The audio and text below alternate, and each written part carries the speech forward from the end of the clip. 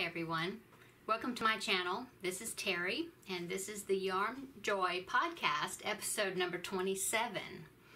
Um, welcome to all my subscribers and um, all my new subscribers and the ones that have been with me since the beginning. I'm so glad you came by to check out what progress I've gotten done on my projects. So today I have some finished objects and works in progress and a little story to tell you. okay, so let's get started. Okay, so if you've been watching my uh, previous episodes, which I'm, i hope you have been, uh, you've seen that I've been working on a shawl, um, the Erigeneia shawl. I'm still not sure if I'm pronouncing that right, but anyway, it made with the Lion brand Mandala yarn in the colorway Spirit, and I have it finished.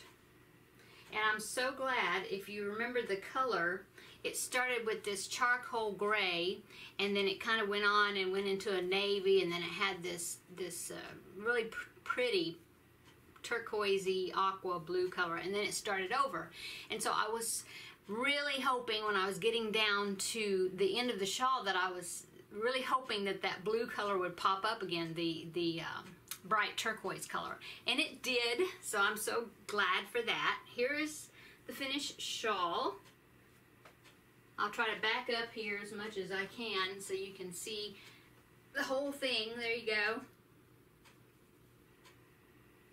And it is um, really wide, wider than my wingspan, I guess you'd say. And I haven't even blocked it yet. But let me show you a close-up of the edging. I really like this pattern. It was very easy and uh, fairly quick, really. And um, I think it just really set off the color of the yarn. The pattern did. So I'm very pleased with that. Um, I'm going to wash it and block it, and I'm sure it'll even soften up even more. So there's my first finished object. My second finished object I was telling, showing you last week was the cupcake doll that I made on the uh, Nifty Knitter knitting, knitting loom.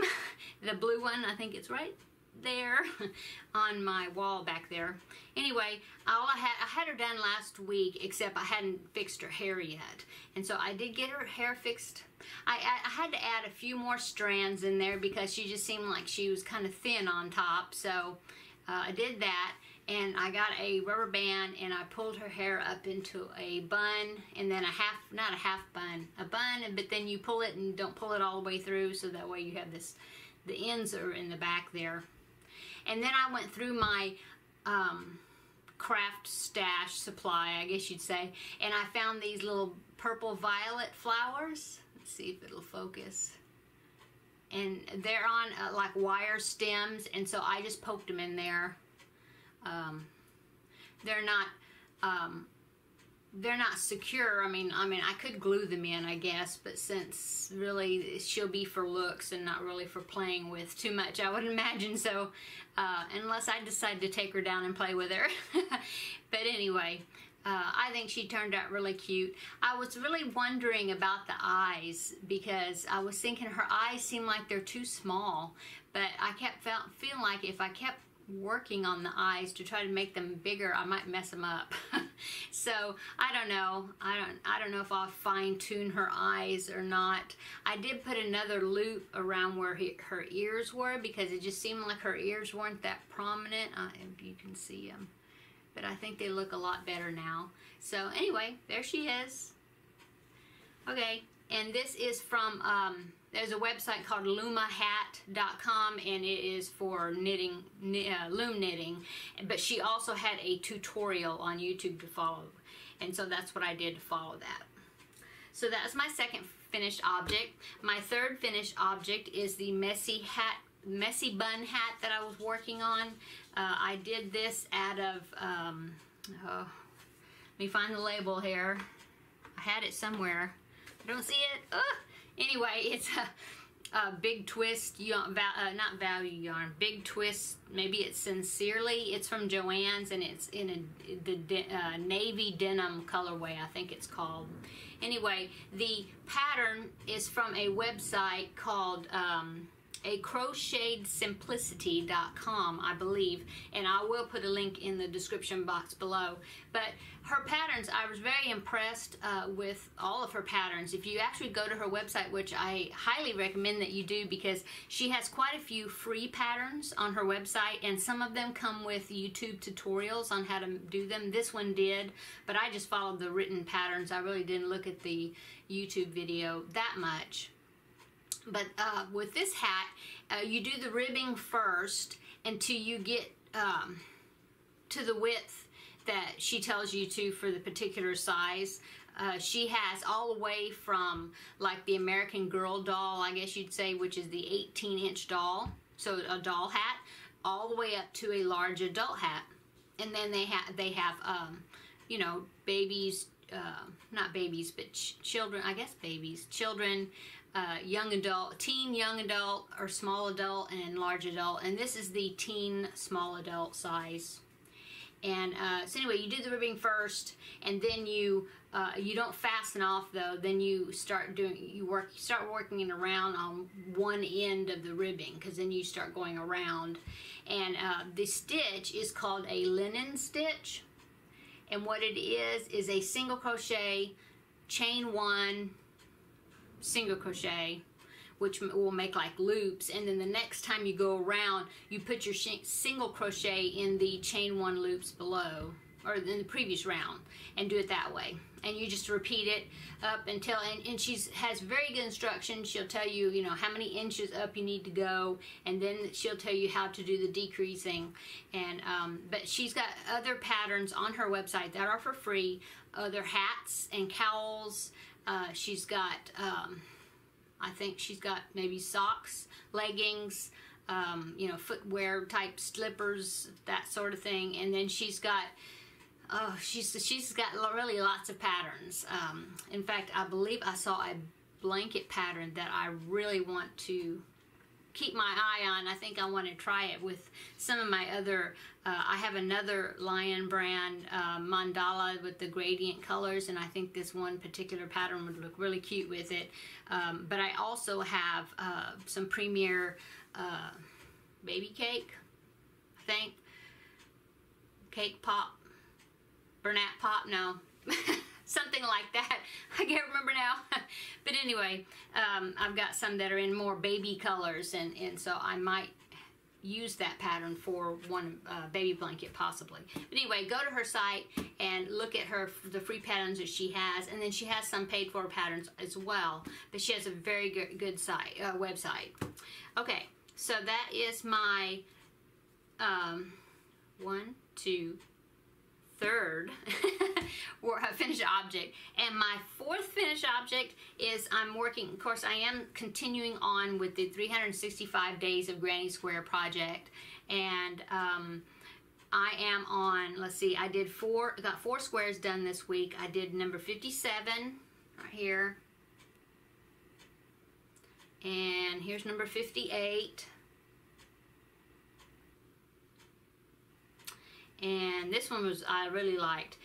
59 I believe she did um, I'm, I'm thinking she did all solid colors. Like see I did the yellow and then the orange. I think she did both in the same color but uh, I changed my colors up just a little bit. So that's 59 and number 60 okay so that is my finished objects and that will transition me into my works in progress because I am in the same project of the 365 days of granny squares. I'm, I'm now putting the granny squares together to make in making my second blanket of this series. So um, last week I believe I showed you that I had five strips put together to number five and then I had four squares done so I've now no five five squares done yes five squares done and I did put them on the blanket. So there's these two, which finished out my first row of seven squares across, and I started my second row, and I had the three uh, squares across the bottom there so far. And then the four, these four that I just finished, that will finish my second row here. And this one, I'm doing my favorite join as you go flat braid uh, method in joining the squares. And this time I'm using, because my last project I used black for the border. And so this time to join the squares together. And so this time I'm using Red Heart. Uh, I believe it's it's either called off-white or soft white. Now I can't remember. but anyway, so I'm doing that and um, I think this one, oh, and I went up like two hook sizes to like a J hook on this project. And so my squares are turning out larger. They're turning out like closer to six inch squares. So I think with doing the still the seven um, squares across that I'm going to have, uh, it's see, it's quite large. And so I won't have to worry about putting another border on the outside like I did with the last blanket. So what else?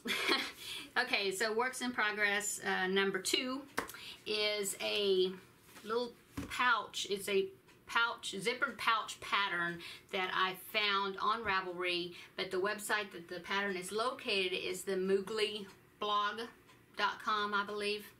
And it is a zippered pouch that looks like a cassette tape for all us older people, older folks that remember cassette tapes. So here is the what I've done so far.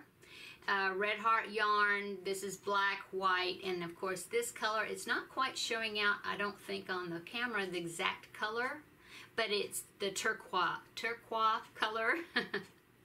so I will show you a picture of what it's going to look like so then you kind of get the idea. It is a pouch with a back a black background and I believe the back side of this is this striped pattern right here the white and the turquoise.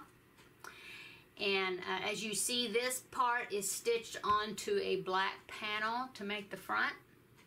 And when you stitch this part on that black panel you leave the top of the cassette like this is the label of the cassette, you leave the top one open so that way this will be an outer pouch or pocket pocket yeah. And then inside you will have I don't have another picture of it but um, it's got a zipper and then it's a sleeve I guess you'd say. And now she did not line the bag but I may because I have some black fabric I might use. I'm not sure but I may line the bag put a liner in the bag as well um, with the zipper. So anyway, I thought it was so cute, and anything retro I, I kind of like, you know, so uh, I think it's going to turn out really cute. Oh, I think I'm holding it upside down. Oh, sorry, it's like this. okay, so anyway, that is my second works in progress.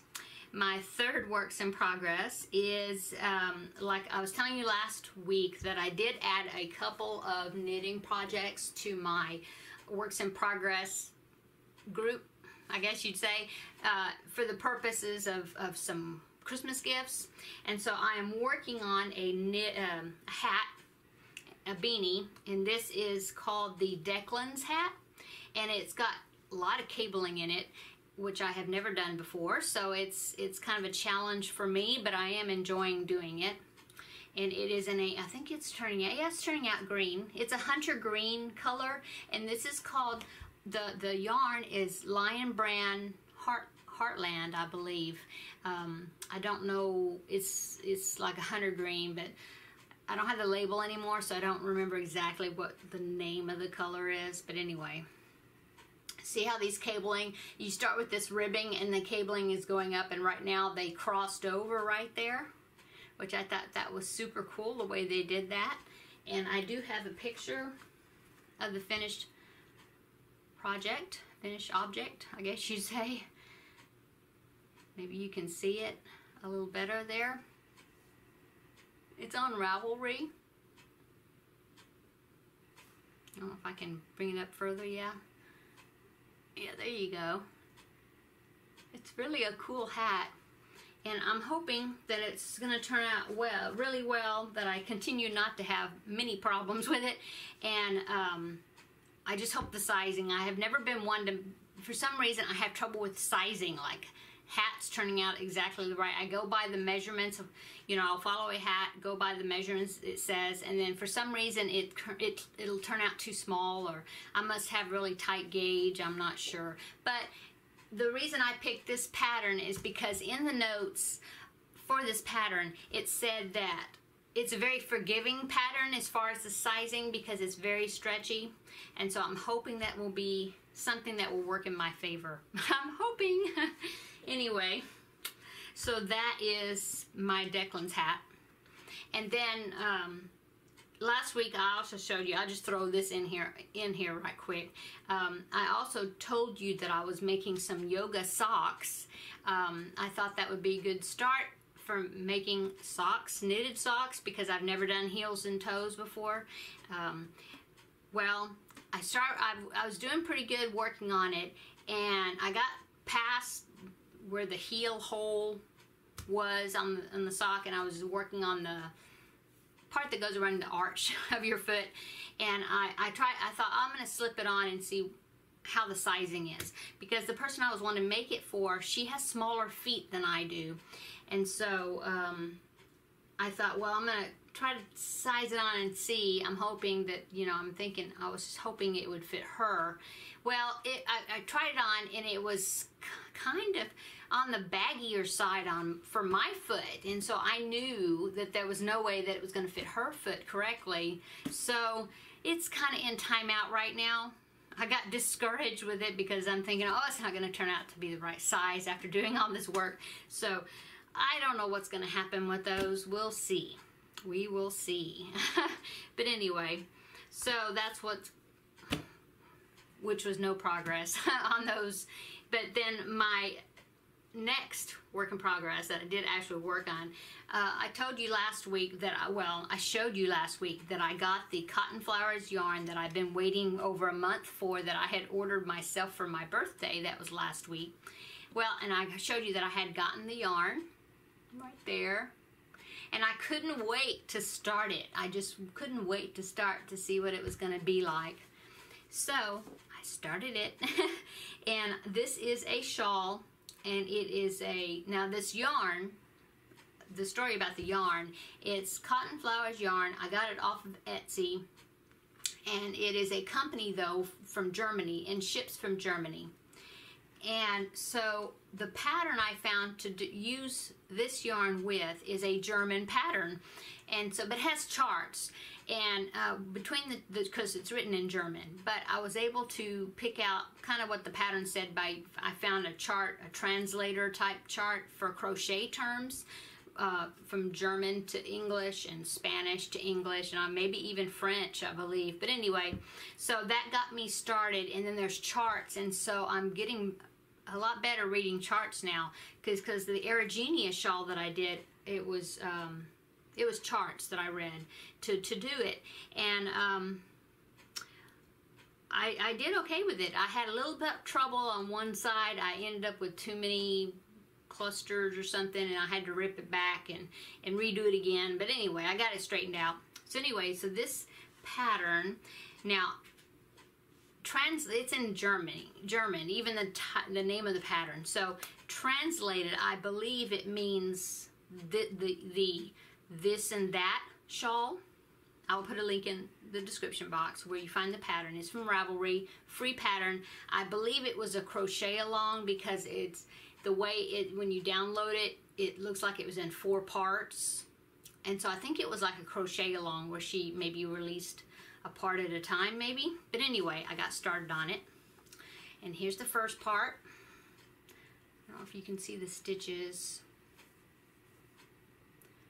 But I have a picture of a project that somebody did that pattern for. If I can find it here. There, okay. No, this way looks better. okay, here's the shawl, if you can see. Um, there's lots of projects of it. If you go to Ravelry and look at the the different projects that people have done, uh, you can see the pattern much better. But it's got these different sections to it, and uh, there's one section. Let me zoom it up. I don't know if you can see it, but there's one section that's got some butterfly stitches, like two rows of butterflies, and then below it there's a section that's got hearts. You see that? Maybe. I don't know. but anyway, I think it's just really pretty and um, there was somebody in the group or in the one that the someone had made this pattern before. Uh, she used actually used a skein of the or cake of the cotton flowers yarn to make it, and so she. Um, I'm kind of going. I'm going to kind of go by what she did because she wanted to be able to use up all of the cake, and so she did a repeat of that section there that's got hearts. And um, so I'm going to follow what she did because at the end she had just a little bit left over. And so I'm hoping that that will be what happens with me. Uh, when I did the Erigeneia shawl, I used the Lion Brand mandala and I, I used one and then I ran out and I had to start another one, the second cake. And this is how much I had left over right there. Now, I recaked it up myself on my barn, my barn, yarn baller, yarn winder, whatever. And so, um, yeah, yarn winder, yeah. Anyway, ball winder, there you go. Um, but I have a pattern, well not pattern, but I, I saw, when I looked up this yarn, if you go on Ravelry and you look up the yarn in the particular colorway, you can see the projects that people have made with that color. And somebody did a square, it was like what ended up, I think she turned it into a pillow, pillow, uh, pillow like a throw cushion or whatever, you know, to be on the couch or whatever. And she used it and it, it was a flower and it started in the middle and then you just keep, you, you enlarge it as much as you want to with petals, rows of petals around, around, around. And then at the end, she turned it into a square. And so I was thinking that would might make a really cool center square for something. Uh, if I, what I'm thinking is the blanket, um, the one that's called Around the Bases blanket. Uh, if you haven't seen that on Ravelry, but it's it's um, it starts where you start with your own square in the middle, and then once you take the square that you want, um, you have to end up with so many stitches per side, and then you start going around with their pattern for the different rounds, and, and so that might be an idea how to use this. I'm not sure, but anyway, hopefully this shawl I will use up all of that cake. Okay, so my last work in progress, I know I just keep starting these things, starting other things, but it is something I just started this morning, and of course I haven't finished them yet, but it is going to be an elf on a shelf. I will show you the picture. If I can find the picture. Where's the picture? Oh wait. Um, right here. It is called Jingle Elf, the Christmas Elf, or something like that. But it's based on the Elf on the Shelf pattern right there. And it's a free pattern on Ravelry. Uh, the person that made this pattern is Jessica Doring. I think I pronounced her name right. Anyway, she uh, is the one that I got this pattern from. Well, but on um, on Ravelry. But anyway, the story about this, when I saw this, I thought, that I just need to make one as part of my um, Christmas decorations. And um, when so here's my story. um, okay, so when I was a child, my grandmother, now she loved to decorate for Christmas. Hol the Christmas holiday was her favorite holiday, and she went all out decorating. And she had this little wooden house that, um, very small little wooden house that, that her and my grandfather lived in. They lived right next door, in fact, to us. And um, she always decked out her house in Christmas, Christmas decor for the holidays. Well, she did not have a fireplace in her house, and so she ordered, she was a big mail order uh, orderer, I guess you'd say. It's before online ordering altogether. Any, so anyway, catalog shopping.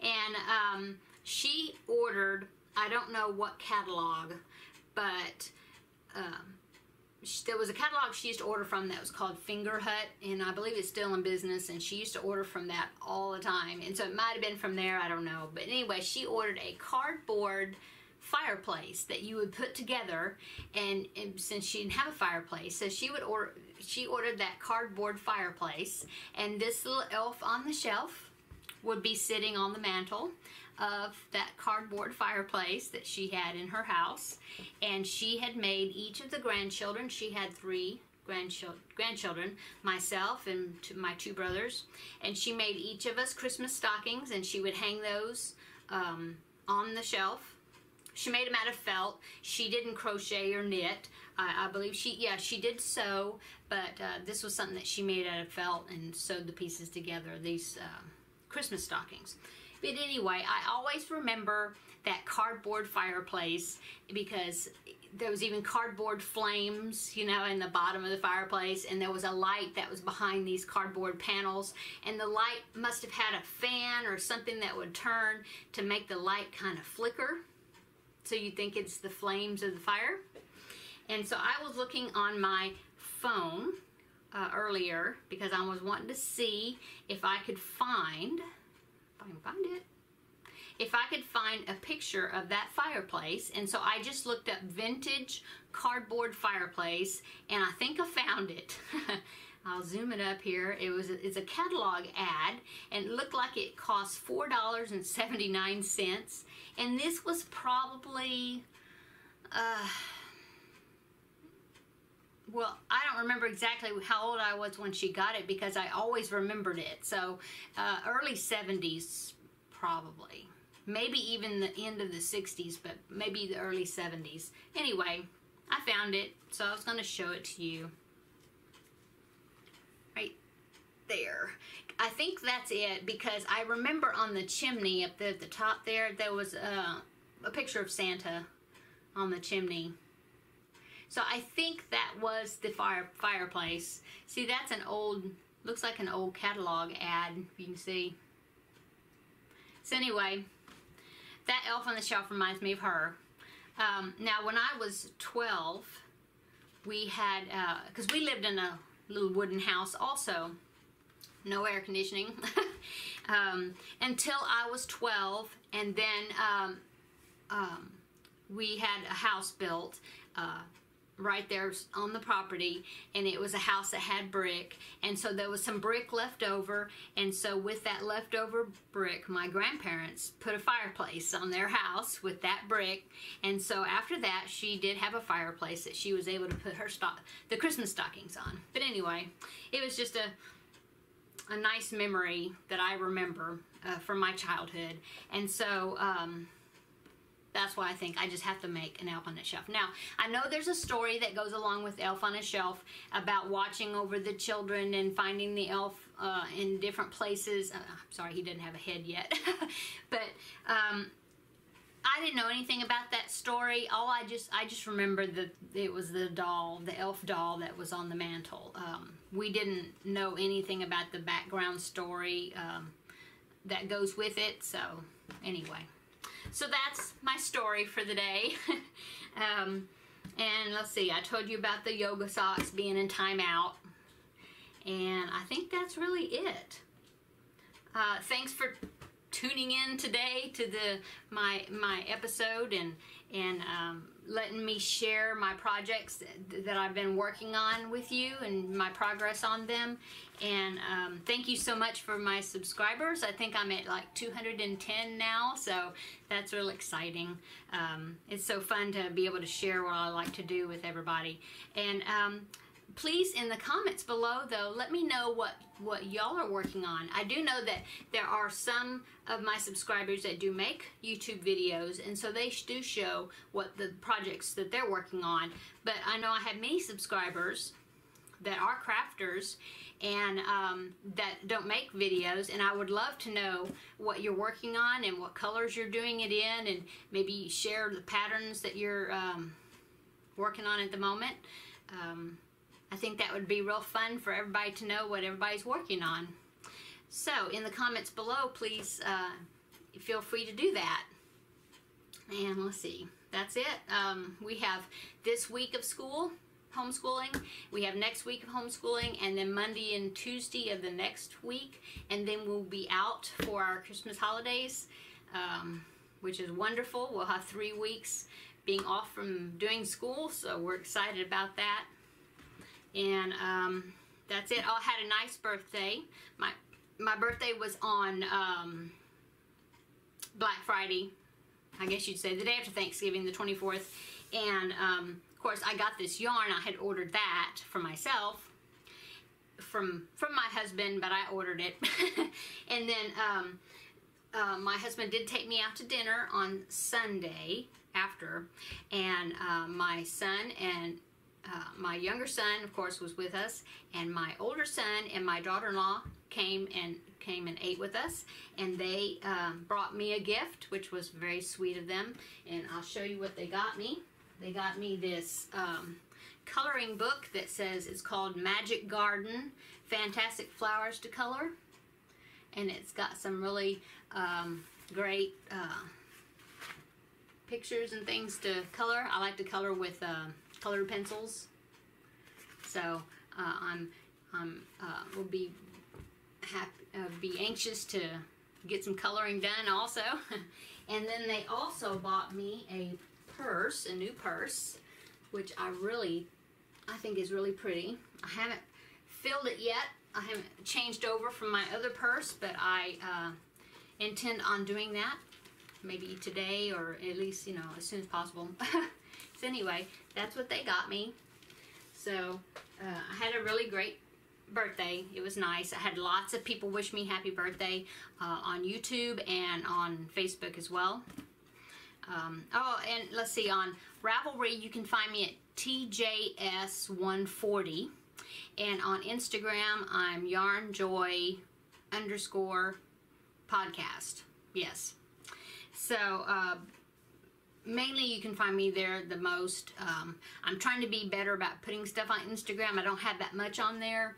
Um, but really the quickest you could uh, get messages to me, I guess, would be to leave comments on my videos on um, here on YouTube.